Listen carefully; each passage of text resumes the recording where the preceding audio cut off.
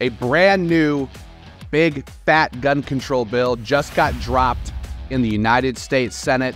It's a big attack on ammo, your bullets. They don't just want to ban your guns. And if they can't ban your guns, they want to restrict your ammo. That's what this bill does. I've got all the details. We're going to get down and dirty, short and sweet, and it's all coming up right now.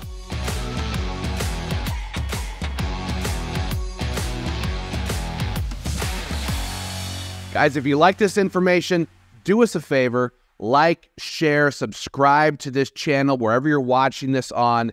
Comment in the comment section. It helps the algorithm because the tech gods are always killing this kinds of information. They want us to not know what's going on. So if you appreciate it, like, share, subscribe. We're going to jump right in. The bill is S3223, and it was introduced by none other than Pocahontas, Elizabeth Warren. They call her Pocahontas. Uh, she's a radical, radical leftist. And here is what the bill would do it does four things primarily that we know of. The actual text of the bill has not been dropped yet, but Elizabeth Warren has done some videos on this. She's putting this information out there. She's very proud of her attack. And here's what we know so far this bill will make it a put you in federal prison for the crime of buying ammo in bulk. They want to make it so you can't buy more than 50 rounds of ammo per transaction. We all know why that is. We all know why that is. They spent something like $700 million on ammo for the IRS, for the Department of Education, for all of these different agencies that the federal government controls. That's how much ammo they set aside. Um, I think for the Department of Agriculture as well. Huge, huge stores of ammo, but they want to make it so you can't buy more than 25 or 50 measly rounds of ammo per transaction. So this bill would outlaw bulk ammo purchases um, in America. Next, it would put you in federal prison for the crime of buying ammo without going through a background check. So they want background checks for all firearm sales. They call it universal background checks. Here they want a background check on all ammo purchases. So you got to fill out the form, give them your ID. They have to run a background check on you through the federal system.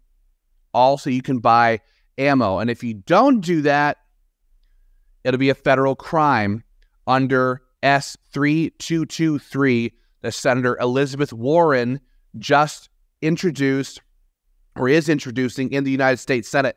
The third thing we do is put you in federal prison for the crime of buying a box of ammo for a friend. So they're calling this now straw purchases of ammo, is what they're calling this now. So I don't know about you. I've got five brothers, and we have given each other more boxes of ammo for more birthdays and more Christmases than I can even tell you because it's easy um, and it doesn't require a whole lot of thought. You don't know, you don't know what you don't know what you want to buy your brother for Christmas. Buy him a box of ammo. They're making a federal freaking crime federal crime. I don't know about you, but I pick up the ammo that both my wife and I use. That'd be a crime under this bill S3223. The fourth thing it would do is put every ammo purchase you ever make into a federal database. And we all know what that's about. That will simply put your name on the top of a list. If you're one of those guys who buys a thousand rounds a year, 10,000 rounds a year, 20,000 rounds a year, your name will go higher and higher and higher. Oh, this person bought this much ammo. They will categorize that and they will target anybody um, who they think is becoming a problem, a nuisance, a threat, a whatever. They will put this stuff in a database and they will track, trace, and register you like sex offenders. This is what the federal government does. This is what Senator Elizabeth Warren wants to do in S 3223. So, guys, what can we do to stop it? There's some action items along with this video in the comments, in the description. You can send your pre written email, sign your petition against this legislation.